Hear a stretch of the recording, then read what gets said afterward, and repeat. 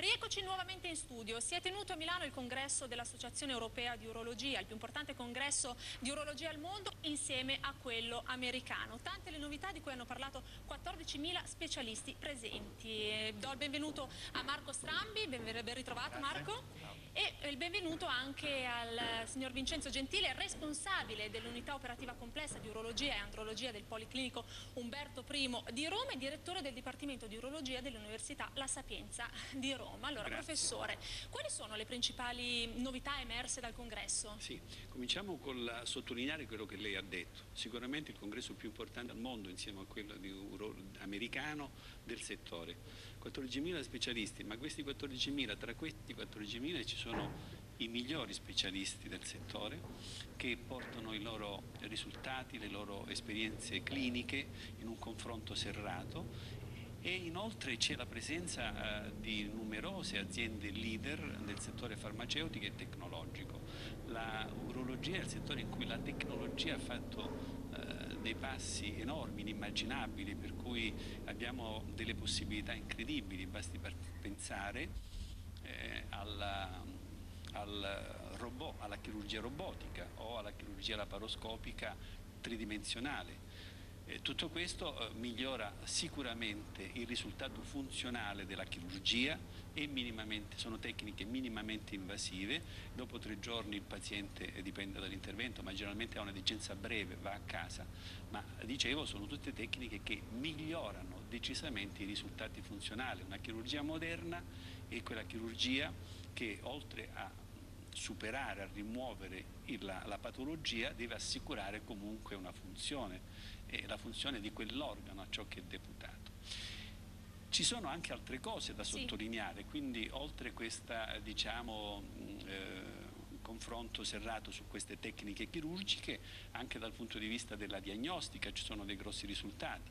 La risonanza magnetica con la diffusione è un esame che ci permette di fare una diagnosi precoce delle metastasi ossee e questo insieme alla PET-TAC, sicuramente superata la scintigrafia e, e, o la TAC per avere i risultati in questo settore. E tutti noi sappiamo che una diagnosi precoce si traduce poi in risultati clinici in guarigione insomma, e, e migliore qualità di vita per il paziente. Dal punto di vista farmacologico, per esempio, molti farmaci eh, sono stati eh, portati dei risultati clinici sull'utilizzo degli agonista eh, beta 3, dei ricettori beta 3, mm, eh, il nome non deve preoccuparci più di tanto, si tratta di migliorare i sintomi di chi è affetto da una vescica iperattiva, per cui ha dei disturbi menzionali di un certo tipo, oppure nuovi farmaci nel campo del carcinoma prostatico.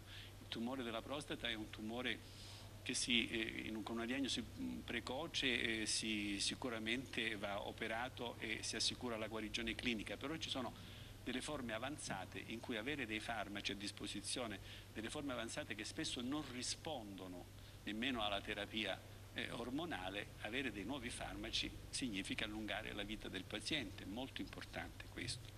Ecco Marco, eh, so che sì. tu sei stato al congresso e hai avuto esatto. modo di parlare col dottor Castiglioni. Che cosa sì, vi siamo andati a curiosare un pochino al congresso, abbiamo eh, visto uno studio, è stato presentato uno studio che parla di terapie per l'ipertrofia prostatica benigna e la disfunzione erettile e quindi abbiamo intervistato il professore, sentiamo. Ascoltiamo uno studio multicentrico internazionale che ha eh, dimostrato che eh, pazienti che hanno problemi di svuotamento della vescica, quindi disturbi menzionali e che contemporaneamente hanno problematiche di disfunzione erettile possono trarre beneficio dall'utilizzo combinato di un farmaco che è sempre stato utilizzato per, la per, la, per la, i disturbi dello svuotamento vescicale, quindi alzarsi di notte a urinare, far fatica a urinare soprattutto al mattino, urinare frequentemente, che è la, la finasteride, in combinazione con un farmaco che viene utilizzato per curare la disfunzione erettile.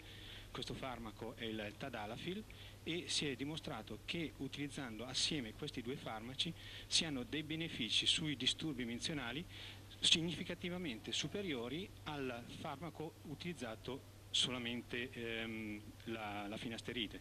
Quindi eh, è un'arma in più che abbiamo a disposizione noi urologi e andrologi per curare questa categoria di pazienti. Il, il, meccanismo è, è, sinergico, nel senso che la finasteride è stato dimostrato ridurre il volume prostatico e quindi eh, ridurre l'ostacolo meccanico allo svuotamento della vescica, mentre eh, la, il tadalafil, che è un farmaco che eh, determina un rilasciamento della muscolatura liscia dei corpi cavernosi, quindi facilitando l'erezione, è anche in grado di agire su dei recettori che sono presenti all'interno della prostata e del collo vescicale determinando appunto il rilasciamento di questa, di questa muscolatura e quindi facilitando lo svuotamento della vescica, quindi un meccanismo assolutamente sinergico dei due farmaci. Un vantaggio sicuramente eh, che si è visto in questi pazienti eh, è il, il, fatto che la finasteride in una percentuale di pazienti eh, che va intorno al 5-10% può dare un eh, disturbo della sfera sessuale che è ben compensato invece dalla facilitazione dell'erezione che viene svolta invece dalla tadalafil. Ecco, professor Gentile, perché usando insieme questi due farmaci si ottiene un risultato migliore? in un certo qual modo il dottor Castiglioni l'ha detto, perché sono farmaci che hanno due meccanismi d'azione diversi, ma naturalmente che vanno poi a migliorare la sintomatologia del paziente con disturbo menzionale che è tipico del paziente prostatico. Perché? Perché la finasteride è un farmaco che agisce soprattutto sul volume della prostata, quindi diminuisce il volume che crea un ostacolo allo svuotamento vescicale e la, il Tadalafil invece cerca di migliorare, migliora anzi decisamente, sono stati fatti dei trial clinici, migliora quelli che sono i sintomi irritativi di questi disturbi menzionali. Mi spiego meglio. I disturbi menzionali in un soggetto affetto da ipertrofia prostatica sono caratterizzati da disturbi irritativi che sono la frequenza menzionale, il sentire il bisogno di urinare spesso, eh, dopo un'ora, due ore, l'urgenza menzionale, quindi devo correre continuamente, la notte mi alzo diverse volte. Tutti questi sintomi incidono fortemente sulla qualità di vita perché il soggetto si sente in difficoltà. Ora, eh, e poi ci sono i sintomi invece legati all'ostruzione, che è spiegabile facilmente, è un meccanismo legato a una riduzione del canale uretrale per cui il getto sarà più sottile e ci sarà uno sgocciolamento finale e quindi come tutti i pazienti prostatici sanno.